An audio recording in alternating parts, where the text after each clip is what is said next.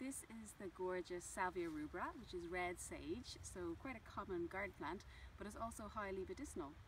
Um, and it's well known, I suppose, for mostly for um, night sweats in menopause, and for some women, sage works really well, and for other women, it doesn't work at all.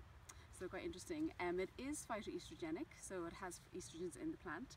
Um, so certainly for women at that stage in life, it can be useful um, to eat or take in the plant um, just as a culinary plant or take it medicinally um, to um, increase those phytoestrogens in the body, which is nice, alongside other herbs and foods which would be good for them at that same time, like uh, fennel or uh, parsley or garlic, and foods like uh, legumes and chickpeas, lentils, um, and even rice and oats can be useful. So all phytoestrogenic foods, um, just like sages.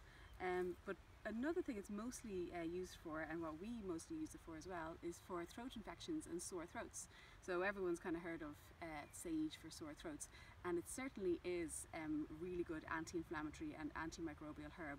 So I do use it a lot um, as a tincture and as an apple cider vinegar extract for um, things like laryngitis or pharyngitis or even glossitis or um, stomatitis in the mouth. Um, gingivitis of the gums and the teeth, inflammation of the teeth as well, are ulcers or canker sores.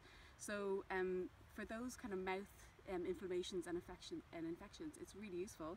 And I would actually tend to use red sage as a apple cider vinegar extract in those cases. So we do tincture too, um, but this is an apple cider vinegar extract of sage that um, I would have made a number of weeks ago, probably about three or four weeks ago now. So it's ready to strain and it's this gorgeous uh, red colour.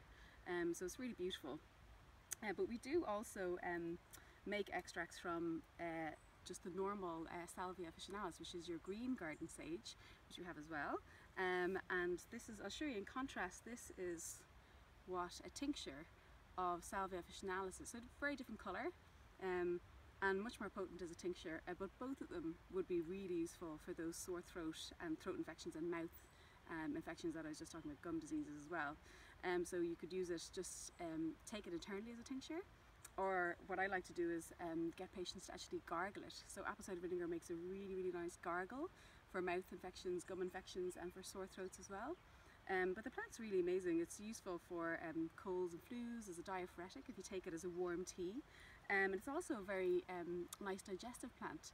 So useful for, it's kind of carminative, so it acts on the stomach and also the lower digestion to relieve any kind of um, discomfort there.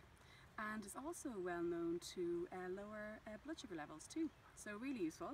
Um, I also like to use either red sage or the other green sage, Salvia officinalis, um, in beauty products. So it's really nice. So a couple of the ways in which you can use it is, um, it is, as I said, does um, it is antiperspirant or anti um, yeah antiperspirant, so it does stop sweating and reduce sweating. So really nice to use in deodorants. So you can dry the plant and powder it, um, and then use it in powder deodorants, which are really nice to make. Um, or you can use the essential oil as well and other types of deodorants, um, and even just making a tea so an infusion out of the leaves or actually making a hydrosol, distilling a hydrosol out of red sage can be really nice for um, um, to make a toner for kind of oily skins. So that's a really nice way to use it. And if you're into making powdered toothpastes, I'm not really into them, but if I don't really like the feeling of them, but if you're into making powdered toothpaste, sage um, whitens the teeth. So you could again dry your sage and powder it and then add it into your powdered toothpaste as well. Um, and actually I'm avoiding this plant at the moment. You don't think because I'm sitting here. I'm supposed to be avoiding sage at the moment um, because it is uh, contraindicated in pregnancy. And at the moment, actually I'm sitting amidst a number of plants that are contraindicated in pregnancy. So this one here is mugwort, which I would have done a video on before, and it's one of my favourite plants. And I really do miss taking that at the moment because I would indulge in mugwort almost every day as a tea. Um, so I'm missing that and also this ruta, so this rue here is also another plant contraindicated in pregnancy and same here, this feverfew, this beautiful feverfew is just in flower now. Um, so I'm kind of sitting amongst all these um, plants that I shouldn't be really touching too much or sitting beside because they're quite aromatic. Like this rue is really pungent and same with the um, feverfew and this sage even is a really, really aromatic plant. It's gorgeous. Um, but yes, yeah, so um, going to be avoiding it in pregnancy um, and uh, also I'm going to be avoiding it after pregnancy. So even the essential oil of sage, I would avoid using that too. So I do like to add it into deodorants because it is antiperspirant. But um, at the moment, I won't be putting that into my natural deodorants. And also, I won't be doing it for a good while because uh, sage is contraindicated in lactation as well because it actually is an anti-galactagogue, which means that it reduces breast milk flow.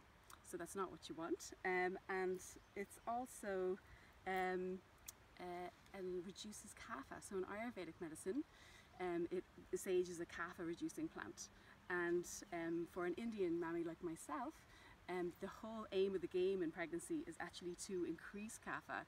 And the more you can increase and hold your kapha in pregnancy, the, they say, and it is true, um, you produce the kapha baby, which is the ultimate baby, the kapha baby that sleeps all the time, eats really well, um, and we managed to do that with Ronan Tilia, so hopefully with this baby it'll be the same. So um, I would be avoiding sage completely. Um, now taking a little bit of food is fine, but if you were to take it as a tea regularly or if you were to take it um, as a tincture or even as an apple cider vinegar regularly, um, I would uh, say avoid that. So don't do that in pregnancy as well because it is contraindicated, but it also reduces that lovely kaphaness.